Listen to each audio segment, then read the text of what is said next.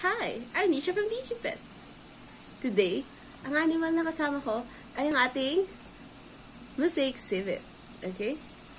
Yan. So, ang dinadede niya ngayon ay Cerelac with some milk and then meron din tong vitamins and ang nilagay namin dito ay yung LCVit Plus for kittens. Okay? So, itong Civet kasi natin ito, baby pa siya. Bottle fed siya since day one, so they'll make great pets. So, ang Asian Palm Civet Cat, ito yung nakikita natin sa likod ng 20 peso bill.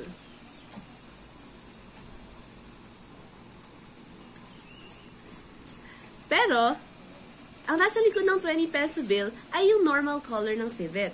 Ito kasi is a rare color dahil ito hindi siya naturally occurring sa wild. Ito kasi ganitong color ay from selective breeding and human intervention. They're very rare. So, ang diet kasi nito ngayon, habang baby pa sila, ay Cerelac, milk, and vitamins. But when they grow older, they're omnivores. So, kumakain sila ng fruits, ng uh, insects, ng mga small animals, and then in captivity, they would readily eat dog food and cat food. So, they make great pets. I mean, it's just like a super energetic dog or cat. So, madali lang silang alagaan kasi since mammals naman sila, and then, um, very fluffy din. They're just like your average uh, fluffy pet. Pero they're like super energetic talaga. As in, hindi sila mauubusan ng energy, especially nocturnal pa sila. Kaya kahit gabi, active na active tong mga to. Perfect pets, especially sa mga, ano, mga night people, or mga night persons, kasi gusto, syempre, tayong mga, ano, pang gabi, gising tayo ng gabi, and then, syempre, ma-enjoy natin yung company nila. And, they're really very unique, kasi ibang experience yung mabibigay nila sa atin pagka inalagaan natin sila. Okay? So, dito sa Asian Palm Civet, matutunan tayong mag-research about ecology, yung importance nila sa environment, and marami pang iba. Kaya magandang experience talaga mga kapag-alaga ng ganitong mga exotic pets. Okay? So, um, ang care naman nila in captivity, same lang as dog and cat. So, para sa akin, masasabi ko na madali naman alagaan when it comes to diet and everything, pero mas demanding sila sa time.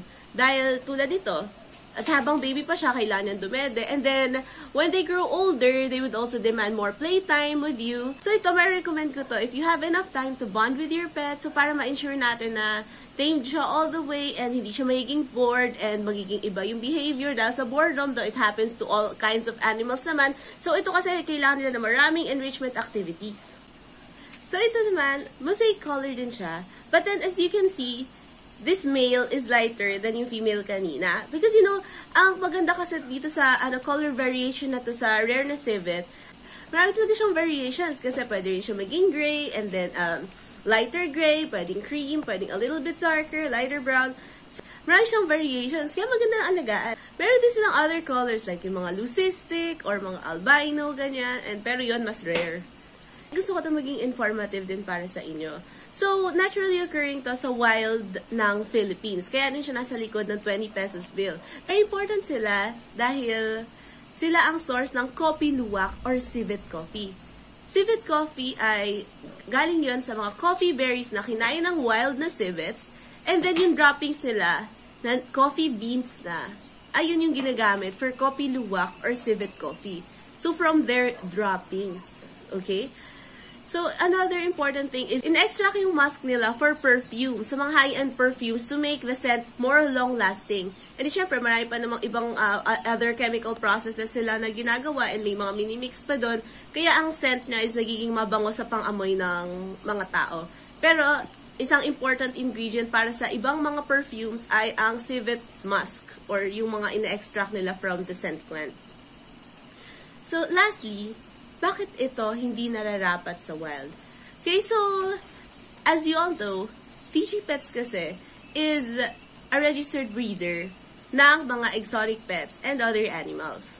So, the reason why hindi ito dapat sa wild, dahil ito madalas natatanong sa akin, the reason why hindi ito dapat nasa wild, ay first of all, dahil sa rare color niya, na mapupunta siya sa disadvantage if ever nasa wild siya.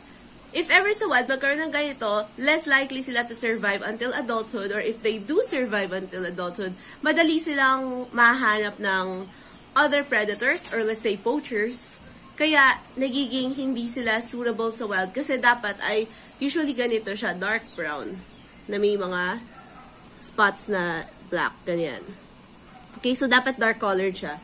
So, pagka ganito, syempre, pag hindi, pagka halimbawa, panggabi sila, ba So, at night. So, pag magka-camouflage sila or mag-hunt, ganyan, may kita agad sila ng prey nila kasi they're lighter colored. And then, syempre, ito kasi with human intervention na, I can really say na talagang na-modify ang behavior niya.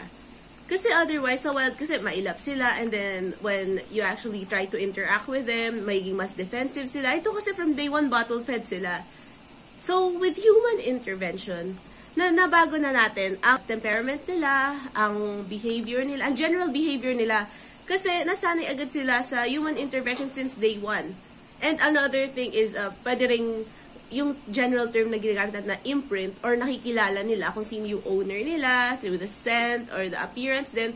So eventually na-realize nila na parang tao din sila, ganun. Or part sila ng family nyo kahit normal normal color ng civet, once na captive bred na siya and then battle fed since day one, mawawala na siya ng lahat ng wild instincts niya. Or, well, let's say karamihan na lang, kung hindi man lahat, ng wild instincts niya. Kaya talagang hindi na siya pwede sa wild. And, naging dependent sila sa human care. Kaya, nagiging suitable sila for your home and as your pet. So that's all for today, guys. Once again, I'm Nisha from DG Pets.